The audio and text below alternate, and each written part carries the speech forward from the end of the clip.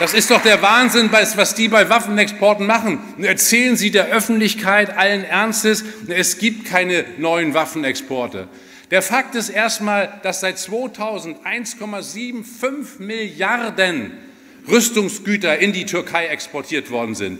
in diesem Jahr bis heute für 251 Millionen Rüstungsgüter. Die Türkei steht auf Platz 1, Termin 31.8. Das ist die Realität. Der Angriffskrieg in Nordsyrien, der wird mit deutschen Panzern geführt. Und das ist ein riesiger Skandal. Diejenigen, die das genehmigt haben im Sicherheitsrat, die müssten keine einzige Sekunde schlafen können, liebe Genossinnen und Genossen.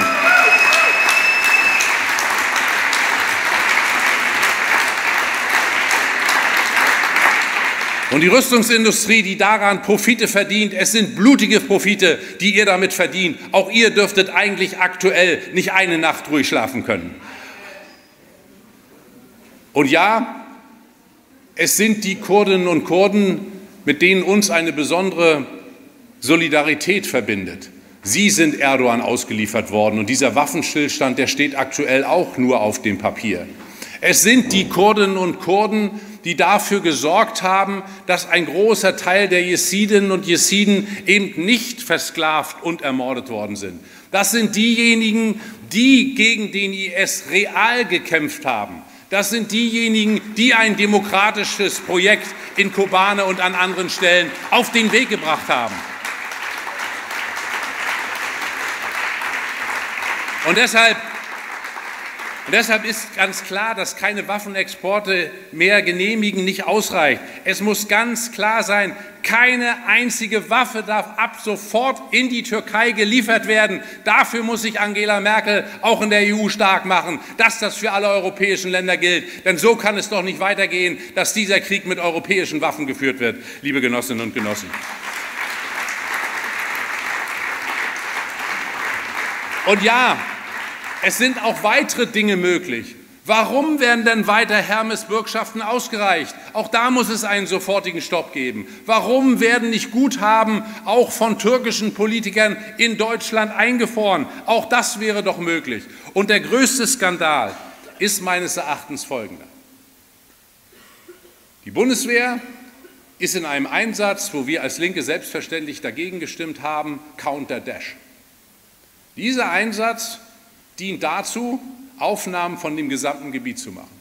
Wer garantiert eigentlich, und sie werden übrigens von der Türkei genutzt, wer garantiert eigentlich, dass dieser Einsatz und die Aufnahmen nicht genutzt werden für die heutige Kriegsführung für Herrn Erdogan und seine Armee? Deswegen muss doch völlig klar sein, dass dieser Einsatz, und der soll jetzt verlängert werden, eben jetzt nicht verlängert werden. Diesen Mut muss das deutsche Parlament haben, jetzt Nein zu sagen angesichts der Kriegsführung von Herrn Erdogan, liebe Genossinnen und Genossen.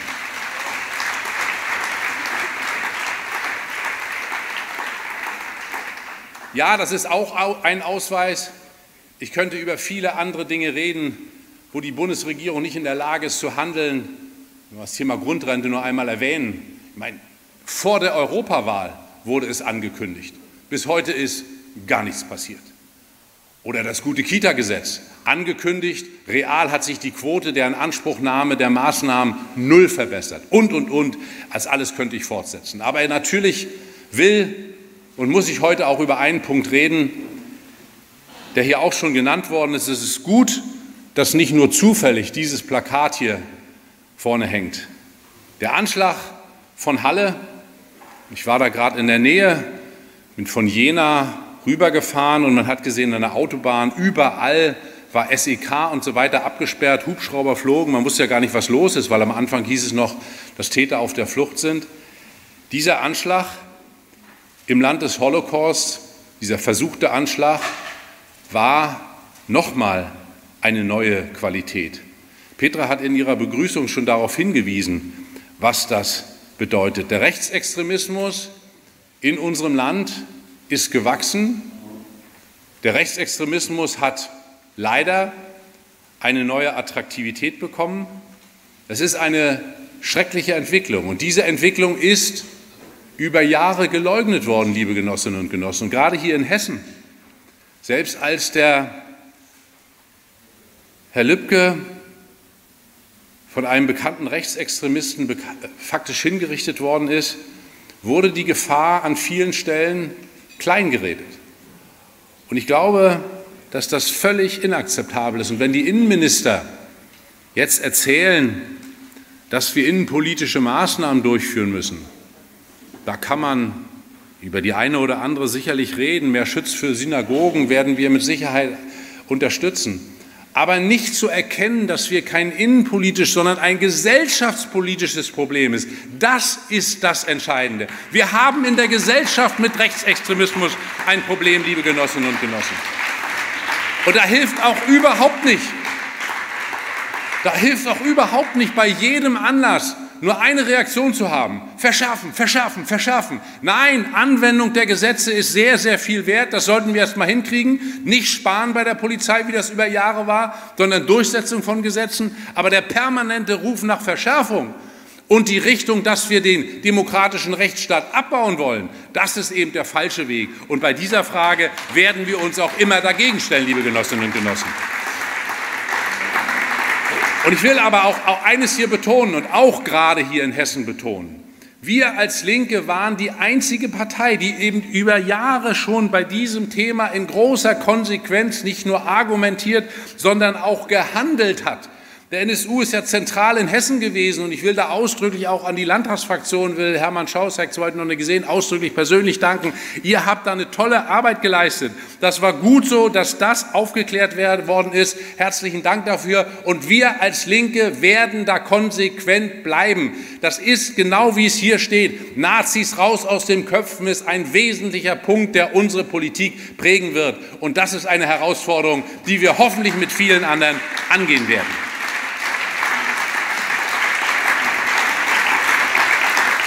Liebe Genossinnen und Genossen, ihr habt ja das Thema Klima zum zentralen Thema gemacht und muss da vielleicht gar nicht so sehr viel sagen.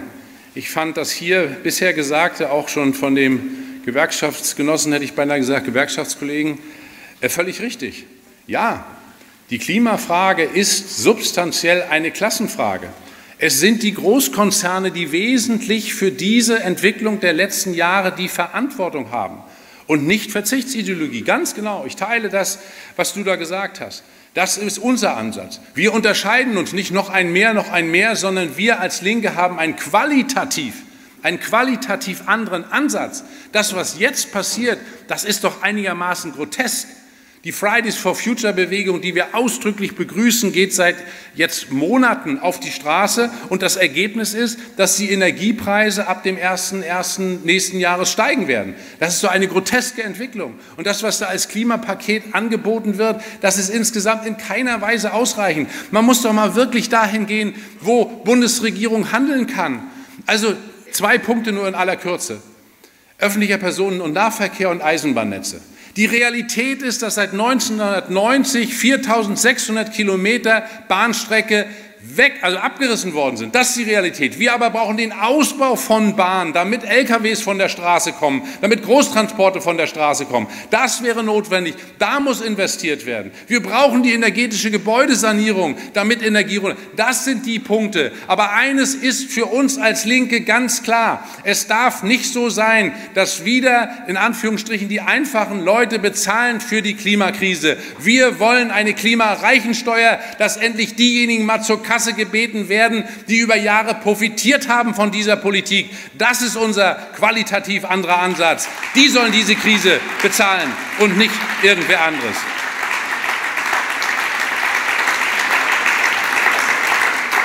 Ja, und in diesem Zusammenhang ist selbstverständlich das Thema Auto ein ganz wichtiges. Wir werden in der Bundestagsfraktion am nächsten Freitag dazu eine Konferenz durchführen. Das ist auch kein einfaches Thema, auch für uns nicht. Unterschiedliche Interessenlagen müssen zusammengeführt werden. Aber auch diese Herausforderung müssen wir uns stellen und diese Herausforderung werden wir uns stellen. Eins wird allerdings nicht funktionieren so wie es einige wollen, dass der Markt das im Kern schon alles richten wird. Der hat es nicht gerichtet, sondern hier muss ordnungspolitisch eingegriffen werden. Das ist dringend notwendig, insbesondere bei der Klimapolitik. Aber das, und da bin ich bei meinem nächsten Punkt, ist insbesondere bei unserem Markenkern. Und ich will das wiederholen und lege da aktuell in besonderer Weise großen Wert drauf. Unser Merkenkern ist, dass wir die Partei für soziale Sicherheit in Deutschland sind. Da spielt die ökologische Frage eine Rolle, da spielen innenpolitische Fragen eine Rolle, aber der Markenkern ist und bleibt, die Linke ist die Partei für soziale Sicherheit in diesem Land. Und es wird immer dabei bleiben, liebe Genossinnen und Genossen. Wir sind die Partei, die Null Toleranz beim Thema Kinderarmut hat. Es ist inakzeptabel, dass in unserem Land weiterhin über vier Millionen Kinder in Armut leben oder von Armut bedroht sind. Inakzeptabel. Es ist inakzeptabel, dass es die tickende Zeitbombe Altersarmut gibt. Ich habe eben schon gesagt, Grundrente. Ja, was ist denn nun damit? Real ist nichts passiert. Und man weiß, dass in den nächsten Jahren diejenigen, die Grundsicherung im Alter beantragen müssen, steigen wird. Da muss doch endlich gehandelt werden. Da kann man doch nicht nur reden. Und natürlich ist die Linke die Mieterpartei in Deutschland. Und ich bin wirklich einigermaßen stolz, dass die Linke in Berlin der Motor war und es jetzt hinbekommen hat, dass jetzt der Mietendeckel wirklich steht. Das ist eine große Leistung. Die haben so viel Gegenwind gehabt. Die haben gestanden und haben hier ein Zeichen gesetzt, dass es in einer solchen Stadt eben auch anders geht. Es ist gut, dass es einen Mietenstopp gibt. Es ist gut, dass es eine Kappung von überteuerten Mieten gibt und, und, und. Ich glaube, dass hier die Berliner Linke wirklich was richtig Tolles hingekriegt hat. Und natürlich Mindestlohn, äh, äh, Susi hat dazu was gesagt, der Genosse Gewerkschaft hat dazu was gesagt, will ich jetzt nicht wiederholen. Aber ein Punkt, der ist mir noch wichtig. Wenn wir all unsere Vorhaben, die wir haben, und viele davon sind sehr vernünftig und wir können uns mit jeder Partei da messen, ist eines dringend nötig. Wir brauchen endlich eine große Steuerreform in diesem Land, denn es wird viel zu wenig über den wahnsinnigen Reichtum in diesem Land geredet. Es ist doch so, dass allein die 500 reichsten Familien, die haben in den letzten zehn Jahren jedes Jahr Vermögenszuwächse im zweistelligen Bereich gehabt und verfügen inzwischen über ein Vermögen von 700 Milliarden. Das sind zwei Bundeshaushalte. Ein Staat, der da zusieht und nicht endlich über Umverteilung redet, der macht irgendwas grundsätzlich falsch und die aktuelle Koalition hat null Mut, hier irgendetwas anzugehen, liebe Genossinnen und Genossen.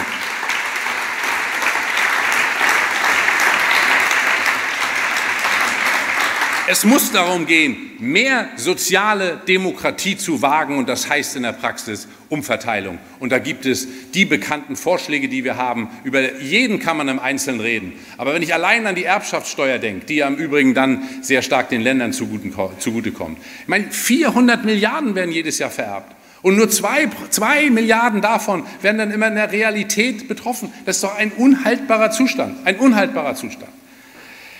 Liebe Genossinnen und Genossen, Lasst mich noch ein paar Bemerkungen zur Situation in der Partei machen. Da wollte ich natürlich umfänglich mit Thüringen beginnen und einen soliden Werbeblock machen. Das brauche ich nicht. Susanne hat alles gesagt. Es geht am Sonntag um sehr viel. Ich glaube, den, der Punkt sei mir gestattet. Der geht jetzt gar nicht in Richtung Susanne, der geht an uns alle. Was wir ganz schön dolle verlernt haben als Linke ist, dass wir über unsere Erfolge reden. Also nun komme ich ja aus einer Partei, da gab es nur Erfolge. Das ist ja auch ein Problem. Aber dass wir hin und wieder auch erfolgreiche Dinge hinbekommen, in der Opposition, in Kommunen, außerparlamentarisch, da reden wir etwas weniger drüber. Und ich meine nur die sachliche Zahl, ich nehme eine von den Thüringer Erfolgszahlen raus, dass Thüringen bei der Arbeitslosenquote die niedrigste hat aller Ostländer. Inzwischen niedriger ist als Nordrhein-Westfalen dass Thüringen beim Wirtschaftswachstum deutlich über dem Schnitt liegt und so weiter. Ich glaube, damit müssen wir viel, viel mehr umgehen. Wir müssen lernen, mehr unsere Erfolge über Probleme, da sind wir vergleichsweise gut. Meier jetzt auch noch gleich, aber das andere scheint mir auch wichtig zu sein, denn das ist auch etwas, wo man natürlich seine Leistungen in das Schaufenster stellt. Das machen wir jetzt in, in, Thüringen entschlossen und gemeinsam. Das ist auch wichtig. Wir alle werden in der nächsten Woche noch in Thüringen äh, reichlich unterwegs sein. Deswegen bin ich auch äh, relativ schnell danach weg, weil morgen früh darf ich in Arnstadt zu einem Frühshoppen sein und das ist ja auch eine nette Reise, wie Susanne weiß. Also, aber das nur, das nur ganz am Rande. Ja, es gehört auch mit zur Wahrheit, dass wir im Moment als Linke in einer problematischen Situation sind. Und ich glaube, dass äh, das Falscheste ist, wenn wir da irgendwie beginnen, über Schuldigkeiten und Ähnliches zu reden. Das ist alles Quark. Weil es ist ja nicht nur ein Punkt, der vielleicht jetzt uns betrifft. Da kann man mal in andere Länder schauen und man sieht, dass in anderen europäischen Ländern die Situation noch viel problematischer ist. Ja, es gibt aktuell leider einen Zeitgeist, der höchst problematisch ist. Man sieht das an Ergebnissen. In Polen hat die PiS wieder die absolute Mehrheit gewonnen. Bin übrigens sehr froh, dass mit Lewica endlich wieder eine linke Partei im Parlament ist. Das ist übrigens der Teil Erfolg, der in Polen auch passierte.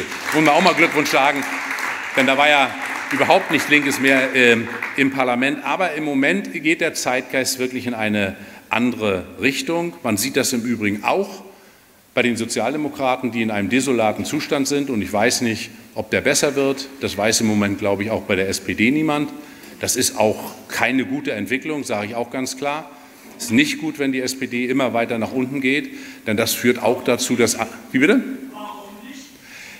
Ja, weil ich glaube, dass wir als Linke nicht in der Lage sein werden, in die Nähe der absoluten Mehrheit zu kommen. Ich glaube, dass alle Parteien jenseits der Union mehrheitsfähig werden müssen. Thüringen ist ein Beispiel, Berlin, Mieten habe ich gerade gesagt, ein anderes Beispiel. Ja, wir müssen auch um andere Mehrheiten in der Gesellschaft kämpfen und das geht nach meiner Auffassung eben nur mit den Sozialdemokraten bei aller Kritik, die man äußern kann. Und da könnte ich also zwei Stunden drüber reden, das ist überhaupt nicht mein Problem. Es bleibt dabei, die sind eher unser Partner als die diejenigen, die da weiter rechts im Parlament sind. Das ist jedenfalls meine Auffassung. Kann man aber gern auch weiter, weiter diskutieren. Aber ehrlich gesagt ist, ist das Verhältnis das, das Verhältnis zu den Sozialdemokraten überhaupt nicht mein Problem, weil ehrlich gesagt, wir müssen unsere Hausaufgaben machen. Und ich glaube, dass wir wirklich in einen Diskussionsprozess, und deswegen ist es gut, dass der Parteivorstand beschlossen hat, dass wir eine Strategiekonferenz machen. Wir müssen über unsere Strategie in diesem Jahrhundert reden. Ich glaube auch, wir müssen darüber kontrovers reden. Niemand hat dort die absoluten Antworten. Das ist dringend notwendig. Und da ist ein Punkt mir auch wichtig. Ich habe eben schon, als ich hergefahren bin, darüber geredet. Es ist ein ganz wichtiger Punkt, das Verhältnis von Parteien, Fraktionen und Regierung zu behandeln. Ich habe das gerade um Negativbeispiel. Wir haben eine Situation in besonderer Weise in Brandenburg gehabt, wo das Regierungshandeln unser Handeln geprägt hat und die anderen Dinge nicht deutlich geworden sind. Das im Übrigen in Thüringen durchaus anders, was ein großer Vorzug ist. Wir müssen diese Frage in großer Ernsthaftigkeit und auch in, äh, debattieren und wir müssen vor allen Dingen auf die Unterschiede, die es gibt, Wert legen. Natürlich ist immer Regierungshandeln kein Handeln der Linken. Da gibt es Unterschiede. Bodo Ramelow muss so viele Dinge machen, die er gerne anders machen würde, aber überhaupt gar keine Chance hat. Das ist Normalität. Wir müssen es akzeptieren. Natürlich hat die Partei eine eigenständige Meinung, die auch immer oder in der Regel durchaus unterschiedlich sein kann zu dem, was eine Regierung oder auch eine Fraktion macht. Deshalb, liebe Genossinnen und Genossen, es ist ganz wichtig, dass wir in Offenheit die Diskussion über den Mix von Bewegung, von Parlamentarismus äh, bereden und unter den neuen Bedingungen, insbesondere auch von Digitalisierung, das nochmal behandeln. Mir scheint das ein wichtiger Punkt zu sein. Und vor allen Dingen dürfen wir eins nicht machen, was ein bisschen modern geworden ist, dass wir sozusagen über die Wählerinnen und die Wählerinnen reden. Also ehrlich gesagt, ich finde erstmal, dass jeder, der die Linke wählt, das richtig macht. Und mir ist auch völlig egal, wer die Linke wählt, der macht das erstmal richtig. Ich will nicht Wählerinnen und Wähler gegeneinander ausspielen. Das ist doch völliger Unsinn. Aber selbstverständlich müssen wir auch darüber nachdenken, wie wir uns kulturell denjenigen wieder mehr nähern, die wir ein Stück weit verloren haben. Ich war ja schon, oder sagen wir zumindest seit einigen Jahren, immer jemand, der von reiner Lehre nicht so viel gehalten hat. Aber wir sind heute in Zeiten, die keine Differenzierung nicht zulassen.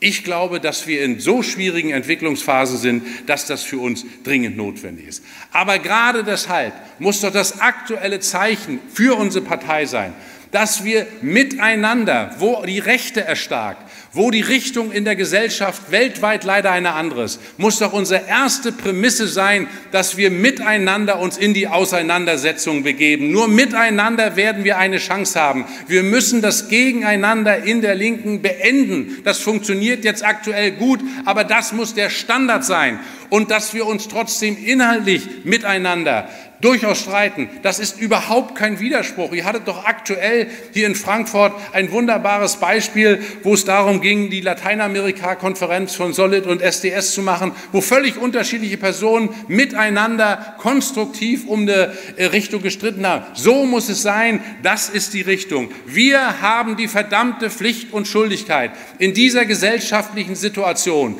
nicht Differenzen nach vorn zu stellen, nicht in irgendeiner Weise zu spielen mit der Existenz Essenz unserer Partei, sondern gegenteilig. Wir müssen die Linke zu neuer Stärke bringen. Wir müssen uns in die Auseinandersetzung mit den politischen Konkurrenten begeben. Das ist das Gebot der Stunde. Wenn wir das annehmen, werden wir unserer Verpflichtung gerecht. Ich wünsche mir da weiterhin die Unterstützung des Hessischen Landesverbandes, euch einen wunderbaren Parteitag und auf geht's in die Auseinandersetzung mit den politischen Konkurrenten. Herzlichen Dank.